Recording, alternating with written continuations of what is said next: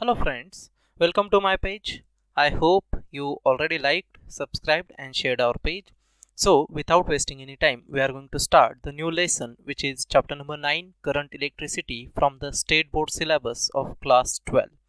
So in the previous lectures we had considered about the chapter number 8 in which we had uh, dealt with the different concepts like electrostatic, electric field, their concepts, what will be the concepts are there like Gauss's theorem, their applications, etc. etc. So all the facts we had covered in that particular section. Now in this lesson we are going to start with the concept of current because we have to consider about the current only.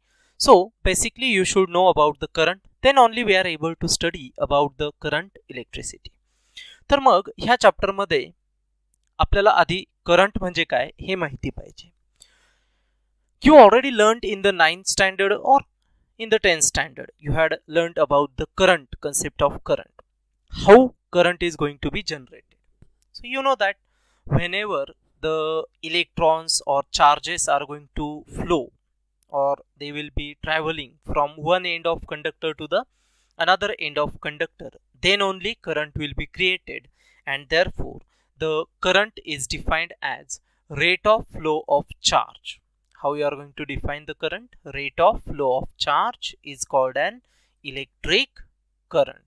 So this concept already we had studied in the previous years like 9 standard or 10 standard. So you all are familiar with this concept. So if you want to calculate the current then you can use the formula i is equals to what will be the formula? Rate of flow of charge. So charge is indicated by symbol Q. So Q divided by T is the symbol or is the formula to calculate the current and by using this formula you can able to calculate the current and its SI unit will be ampere capital A you can denote it by capital A so that already we had studied in the previous level आता यामध्ये काही करंटला आपण steady current म्हणून consider करतो so whenever a particular electric current which does not depend upon the time is known as steady current. So when you are going to say that it is a steady current, when you are going to say that the electric current which does not depend which does not depend upon time is known as steady current.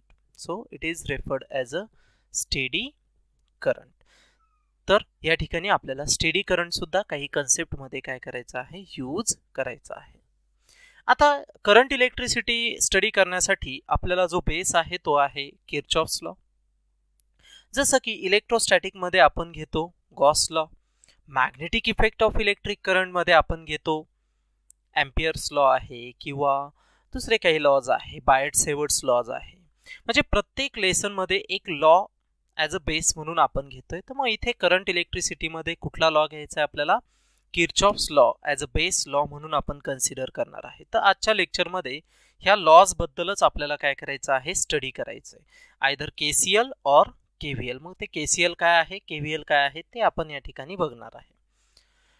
आता पहिला जो law आहे त्याला आपण म्हणतो current law और junction law Kirchhoff's current law और junction law. So Kirchhoff's first law is referred as a current law or junction law. So Kirchhoff's current law which will be referred as a KCL. त्याला तुम्ही शॉर्टमध्ये काय म्हणू शकता as a के C L म्हणून consider करू शकता किंवा त्याला म्हणतो जंक्शन लॉ मग जंक्शन कुणाला म्हणायचं so junction is a single point at which current will split so in the circuit, it is a particular point where current is going to split. Either it has it is going to be splitted in two portions, three portions, four portions. It doesn't matter. The basic condition is that it should be splitted. So whenever it is going to be split, then it is going to be referred as a junction. मग real life example जर तुम्ही बघितलं तर तुमच्या गावामध्ये railway station असेल तर त्याला काय नाव दिलेलं आहे बघा. जर त्याला जंक्शन नाव दिलेलं असेल तर जंक्शन का नाव दिलेलं आहे? कारण की तुमच्या गावामधनं तीन ठिकाणी रेल्वे जात आहेत. म्हणजे रेल्वे काय होते? स्प्लिट होते किंवा तो रेल्वेचा ट्रॅक काय होतोय? स्प्लिट होतोय. सपोज तुमच्या गावाकडे आधी रेल्वे आली आणि तिथून ती दोन गावाकडे जाणार आहे. फॉर एक्झाम्पल असं म्हणूया की एक रेल्वे ए गावाकडे जाणार आहे आणि दुसरी रेल्वे बी गावाकडे जाणार आहे आणि ती आलेली आहे सी गावाकडनं. म्हणजे या ठिकाणी तीन गावाकडनं रेल्वे येऊ शकते किंवा जाऊ शकते. त्यामुळे तुम्ही त्या पर्टिक्युलर सिटीला काय म्हणता? ॲज अ जंक्शन म्हणता. मग तीच कन्सेप्ट इथे. फक्त रेल्वेच्या ऐवजी काय घ्यायचं आहे करंट घ्यायचा आहे तो स्प्लिट झाला की तुम्ही त्याला काय म्हणणार? जंक्शन म्हणून कन्सिडर करायचं.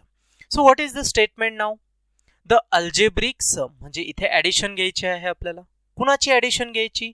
The algebraic sum of electric currents at any junction is always equals to zero म्हणजे त्या जंक्शनच्या ठिकाणी जेवढे करंट प्रेझेंट असतील ते किती करंट असू द्या दोन असू द्या कमीत कमी तर आता दोन असणारच आहे.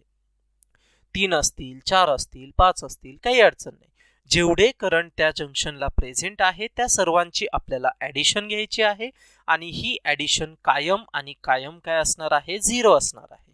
It is always going to be zero so mathematically we can write summation I is equals to zero so we are going to refer it as a equation number one आता ज्यावेळी आपण सम घेतोय किंवा addition घेतोय दोन नंबर्सची addition ही zero कधी पॉसिबल आहे? जर किंवा तीन नंबर्सची ॲडिशन किंवा चार नंबर्सची ॲडिशन ही झिरो कधी पॉसिबल आहे? त्या ॲडिशनमध्ये कुठला तरी एक नंबर हा निगेटिव्ह पाहिजे. तर आणि तरच त्यांची ॲडिशन काय होऊ शकते? झिरो होऊ शकते. It is the basic law of mathematics you know that whenever you are going to add the numbers then if a particular number is negative then only you are able to obtain the zero addition. That means their addition is zero मग तसंच इथे ज्या आर्थिक सर्व करंटची addition zero येते त्याचा अर्थ काही current आपल्याला negative घ्यावे लागतील. त्याशिवाय ती ॲडिशन झिरो होऊच शकत नाही. मग ते नेमकं कसं घ्यायचं? So for that purpose we have to consider the sign conventions okay आता इथे एक आपण जंक्शन घेतलेला आहे. पी हा काय आहे? जंक्शन मी घेतोय. ठीक आहे? सर्किटमध्ये एक पॉईंट आहे पी पॉईंट आणि त्याला मी ॲज अ जंक्शन म्हणतोय कारण की इथे जे काही चार करंट्स आहेत पाच करंट्स आहेत sorry I one I two I three I four आणि आय फाईव्ह असे पाच करंट्स आहेत जे थोडक्यात आपण म्हणूया की ह्या पॉईंटपासून करंट हा पाच सेक्शनमध्ये काय झालेला आहे स्प्लिट झालेला आहे. So the point at which current can split that will be the junction so therefore P point is considered as a junction पण हे सर्व करंट्स त्या ठिकाणी सेम नाही आहेत हे सर्व करंट्स त्या ठिकाणी सेम नाही आहेत बघा याच्यामध्ये आता नेमकं काय आहे? चेंजेस काय आहेत? आता बघा करंटची डायरेक्शन ही वेगळी दिसेल बघा तुम्हाला जर प्रॉपरली ऑब्झर्व केलं. So what is the direction of I one so as compare to the junction I can say that this current I one is travelling towards the junction then I two is travelling away from the junction again I three is travelling towards the junction I4 is traveling away from the junction and I5 is traveling towards the junction. मग हीच important condition आहे sign convention साठी ती म्हणजे direction कुणाची direction करंटची direction so therefore whenever that current is going to be flow towards the junction, then that particular current is taken as a positive. And when that current is going to be flow away from the junction, then it is going to be considered as negative. Then it is going to be considered as negative. So when it will be, be positive, if it is traveling towards the junction, then it is. And when it is traveling away from the junction, then it is going to be negative. This is the sign conventions. So we have to apply these sign conventions. So therefore what we are going to get now? We have to consider all the currents. Okay. So first I am going to consider the currents which are traveling towards the junction in this diagram. So which are they? All these odd currents I1, I3 and I5. So according to sign convention these three currents are taken as positive.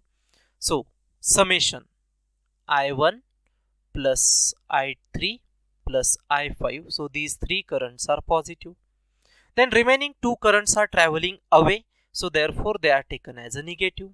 So I2, I4 they are negative. So here in the statement we can write minus I2 minus I4 and addition of all these currents is always going to be 0 according to our KCL that means Kirchhoff's current law. So in this way we are able to consider the statement by mathematically. And if we transfer those negative currents to the right hand side then they will becomes positive when they will be transferred to the RHS so final statement I can modify like this I1 plus I2 sorry I1 plus I3 plus I5 is equals to I2 plus I4 and from this mathematical statement I can able to write down one statement or I can able to conclude that whenever we are going to consider sum of all the currents which are flowing towards the junction is always equals to the sum of currents which are flowing away from the junction म्हणजे जेवढा current जंक्शनकडे येणार आहे तेवढाच current जंक्शनपासून बाहेर सुद्धा जाणार आहे मग जसं मी तुम्हाला ट्रेनचं एक्झाम्पल दिलं होतं काय होतं ट्रेनमध्ये सपोज जर एखादी ट्रेन आली एखादी ट्रेन आली जरी ती दोन डायरेक्शनला गेली तर काय होणार आहे? की तिचे डब्बे फक्त स्प्लिट होणार आहे. सपोज दहा डब्बे आलेले आहेत तर जाताना काय होईल? एका गावाकडे पाच डब्बे जातील एका गावाकडे पाच डब्बे जातील. म्हणजे जेवढे डब्बे आले तेवढेच पुढे जाणार आहेत. So this is the basic statement which is which will be created from the KCL that means Kirchhoff's current So I hope you got this Kirchhoff's current law or which is also referred as the junction law. In short, you can able to see say it as a KCL and what is the statement of it? The algebraic sum of electric currents at any junction is always equals to 0 that is summation I is equals to 0.